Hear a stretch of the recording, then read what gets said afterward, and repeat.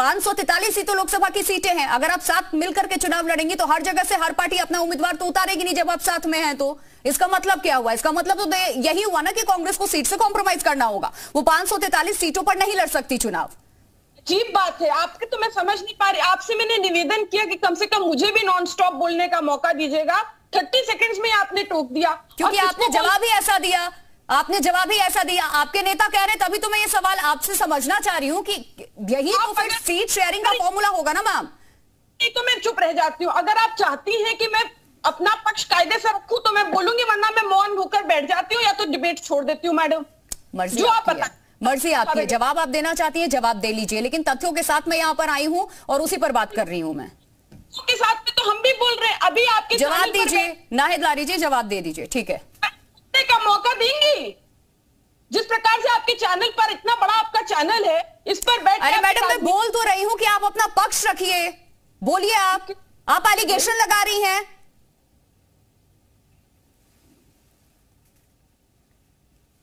जिस जिन शब्दों का प्रयोग राजनीतिक विश्लेषक कर रहे हैं सपा सहित अन्य विपक्षी दलों के लिए कि कैसे हैसियत और हैसियत और हैसियत बोल रहे हैं और आपने टोका तक नहीं उन्होंने उनको। आपने टोका तक नहीं कि शब्दों का चयन और भाषा की मर्यादा रखें। अभी हम पलट के पूछ रहे कि आपके क्या हैसियत क्या आप किस हैसियत से राजनीतिक विश्लेषक के रूप में बैठे तो अभी नहीं लग जाएगी बात। आपको कम से कम टोकना चाहिए। नाहिद लारी खान जी बात को घुमाइए मत। बात को घुमाइए मेरी बात को काटिए। कितने परसेंट वोट आपको मिलते हैं अन्य राज्यों में? आप बताइए। आप बताइए कितने परसेंट वोट आपके एमपी में है? आप बताइए। मैं आप आप किन शब्दों का प्रयोग कहा कि क्या हैसियत हमने यही तो कहा एमपी राजस्थान की बात कहा के रूप में बैठे हैं इनडायरेक्टली बीजेपी राजनीतिक हैसियत राजनीतिक हैसियत बात सुनिए। हमारे हमारे शब्दों को सुनिए राजनीतिक हैसियत व्यक्तिगत हैसियत नहीं राजनीतिक हैसियत। मर्यादा रखे हमारे शब्दों को सुनिए। तो मैं नहीं डिबेट कर पाऊँगी। मैंने किसी को इंटरप्ट नहीं करा। ठीक है राजीव जी। नाहिद लारी आप अपनी बात कंप्लीट कीजिए। मैम बात तो कंप्लीट कर लीजिए। नहीं यहाँ ये डिबेट में ये भी चर्चा हो रही थी कि अन्य स्टेट्स में भी चुनाव है निश्चित रूप से निश्चित रूप से ये तय है कि भाजपा मुक्त ये तीनों प्रदेश भी होंगे।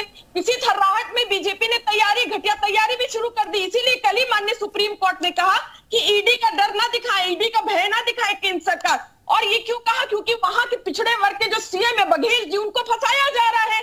और ये किस लिए फंसाया जा रहा है? वरिष्ठ अधिवक्ता जी ने कहा कि चुनाव आ रहे इसलिए सब किया जा रहा है। हम्म। तो इनके किस किस चेहरे की आप बात करें इसी चेहरे पर तो अभी लोकसभा उपचुनाव है जलंधर में। वहाँ चौथे स्थान पर बीजेपी पहुँच गई है। आम आदमी पार्टी जीती दूसरे स्थान पे कांग्रेस आम बीजेपी तो अकाली दल और बीएसपी से भी पीछे चली गई अभी उत्तर प्रदेश में मैनपुरी चुनाव हुआ तीन लाख वोटों से बीजेपी की करारी हार हुई। मंत्री इनके दो दो मंत्री हारे। और ये वो पार्टी है जिसकी अभी निकाय चुनाव में तीन हज़ार सात सौ जमानत जब्त हुई है। इनकी जमानत जब्त हुई है जिनको आप नॉन स्टॉप बोलने का मौका दे रही है। और 19 परसेंट इनको वोट मिले अभी नॉन स्टॉप बोल रही हैं। सुन रहे हैं आपको भी। ये गुस्सा किस बात का है?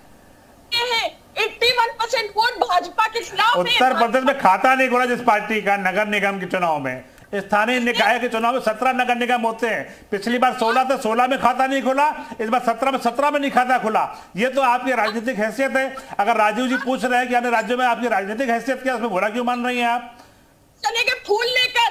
माननीय प्रधानमंत्री जी को बताने की हम लोग बहुत बड़ी जीत हुई है। बीजेपी कह रहे तीन हज़ार सात सौ छह सीटों पे जमानत जब्त हुई है बीजेपी की अभी निकाय चुनाव में दो दो दिन पहले जो निकाय चुनाव का रिज़ल्ट आया है आपको मालूम है केवल उन्नीस अरे आपकी पार्टी कहाँ स्टैंड कर रही है वो बता दीजिए ना देश की जनता प्रदेश की जनता जानना चाहती है। श्रीमान अखिलेश यादव लगातार दो विधानसभा के चुनाव हार चुके हैं दो लोकसभा के चुनाव हार चुके हैं दो नगर निगमों के चुनाव हार चुके हैं जिला पंचायतों के चुनाव हार चुके हैं। तो मैं पूछना चाहता हूँ समाजवादी पार्टी के नेता में ऐसी कौन सी खासियत है कि वो अपनी पार्टी को आगे जो दो हज़ार चौबीस ठीक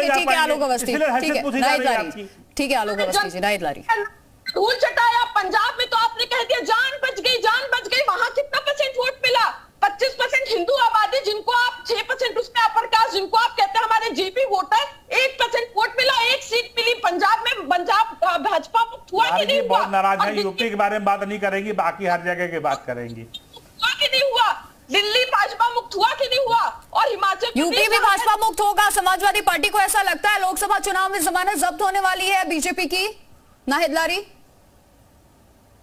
रिपीट करें क्वेश्चन मैं ये पूछ रही हूँ कि उत्तर प्रदेश में 80 लोकसभा की जो सीटें हैं, उस पर बीजेपी की जमानत जब्त होने वाली है। आप कह रही है, भाजपा मुक्त हो रहा है, एक के बाद एक राज्य, वो सच्चाई भी है। हिमाचल में भी हमने देख लिया, कर्नाटक में भी हमने देख लिया, छत्तीसगढ़ में भी स्थिति बहुत अच्छी नहीं है। आलोक जी, सुनने में कड़वा ज़रूर लगेगा। और इसके अलावा भी अन्य राज्यों में अभी जो चुनाव होने हैं, वहाँ पे भी कमोबेश ऐसी स्थिति है। लेकिन नाहिद लारी, आप कितने मज़बूत स्थिति में है? प्रिया जी 1977 का इतिहास जनमानस पुनः दोहराने के लिए बेताब है बे, बेचैन है। बस उसको इंतज़ार है कि 2024 का चुनाव आए और हम्म। वो विपक्ष समाजवादी पार्टी सहित संपूर्ण विपक्ष को पक्ष में वोट करे एक तरफ़ मोदी चेहरा एक तरफ़ मोदी चेहरा दूसरी तरफ़ कौन होगा? आप अरे फिर आप बता रहे चेहरा चेहरा तो ये चेहरा बांग्लादेश चले गए थे वोट मांगने की वोट दे दो वोट दे दो क्या हुआ? बंगाल की जनता ने नकार के चेहरे को कि नहीं चेहरे को? अभी लोकसभा देखिए अखिलेश यादव का नाम भी नहीं ले पा रहे उनके प्रवक्ता कि हमारे नेता जो है नेता होंगे। मुझे लगता है कि जिस पार्टी के प्रवक्ता आते हैं मतलब अपने नेता को तो बोले। वो अपने नेता तक को बोलने की हिम्मत नहीं हो पा रही कि वो देश के नेता हो सकते हैं। इनका जिस चेहरे की बात कर रही है हम्म। छह महीने से चेहरा जो है कर्नाटक में लगा हुआ था। वो चेहरा और तमाम रैलियाँ और रोड शो कर दिया। क्या हुआ? कर्नाटक की जनमानस ने बुरी तरह से नकारा कि नहीं? नकारा धूल चटाया जनमानस ने कि नहीं चटाया अरे किस चेहरे की आप बात करिए इसी चेहरे पर तो अभी मैनपुरी इलेक्शन में आ गए थे मैनपुरी चुनाव लड़ने। जनमानस ने नकारा तीन लाख प्लस वोटों से। बीजेपी हारी कि नहीं हारे? अरे इनके सिटिंग मंत्री हार गए। तब भी कैसे मंत्री की अभी तक इस्तीफा नहीं दिया? और अभी रामपुर में क्या हुआ? आपकी तो। पुश्तैनी सीट थी रामपुर। रामपुर में क्या हुआ? आप लोकसभा से भी साफ़ हो गए और विधानसभा के सारे चुनाव साफ़ हो गए। आज़म खां का करिश्मा कहाँ चला गया? जिसको जो आग बंद करके जो है आप लोग सपोर्ट करते थे आज रामपुर में क्या स्थिति है? मैनपुरी की बात तो आप कर रहे हैं क्योंकि वहाँ पर सहानुभूति वोट मिला आदरणीय मुलायम सिंह जी की वजह से। रामपुर में क्या स्थिति है आपकी? आजमगढ़ क्यों हार गए? आप अखिलेश यादव की सीट थी आपकी। प्रचार प्रचार करने तक की हिम्मत नहीं पड़ी उनकी वहाँ जाकर के तो आपको बताना पड़ेगा। नगर निकाय मंत्री आपके सिटिंग नगर विकास निकाय मंत्री अभी हारे मऊ मऊ जो है अ, शर्मा जी वो भूमियार बिरादरी से और उसी बिरादरी का सबसे ज़्यादा आबादी मऊ में फिर भी बीजेपी पूरी तरह हारी अमेठी ईरानी जी वहाँ जो है ईरानी जी अभी हारी पूरी तरह से बीजेपी पूरी तरह से हारी, समाजवादी पार्टी अध्यक्ष जीती कि नहीं जीती?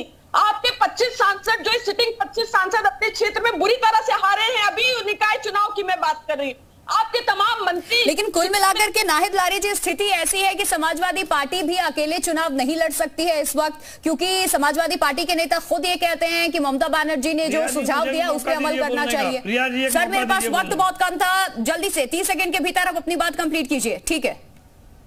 देखिए देखिए बात यहाँ किसी नाहिद लारी खान अभी बोल रही थी मऊ में मऊ में इनकी पार्टी के प्रत्याशी को तेरह हज़ार वोट मिले हैं। और वहाँ बहुजन समाज पार्टी जीती है के शर्मा की सीट जो बता रही है। एक छोटा सा बहुजन हाँ, समाज पार्टी जीती है, है इनकी पार्टी के कैंडिडेट को मात्र तेरह हज़ार वोट मिले हैं। ठीक है नाहिद लारी छोटा सा कमेंट बताइए। नहीं आपने क्वेश्चन नहीं पूछा आपसे मैंने ये सवाल किया था कि कुल मिलाकर के अखिलेश यादव का भी तो स्टैंड यही क्लियर है कि ममता बनर्जी ने जो सुझाव दिया है उस पर अमल किया जाए। स्थिति बहुत मज़बूत नहीं है आपकी मैम नहीं नहीं ये तो आप अपने अपनी ये चंडूल खाने की बातें की स्थिति मज़बूत नहीं है। बात ये, ये ये जो आप शब्द का इस्तेमाल कर रही हैं माफ़ कीजिएगा इसका मतलब मुझे नहीं समझ में आया। बहरहाल वक्त इतना ही था बहुत बहुत शुक्रिया बहुत शुक्रिया आप सभी का जुड़ने के लिए नाहिद लारी। देखिए आपके नेता ये कहते हैं कि हाँ इस पर हम अमल कर सकते हैं क्षेत्रीय दल जो जहाँ मज़बूत है वहाँ कांग्रेस पार्टी उन्हें सपोर्ट करे और जहाँ कांग्रेस पार्टी मज़बूत है वहाँ हम सपोर्ट करते हैं।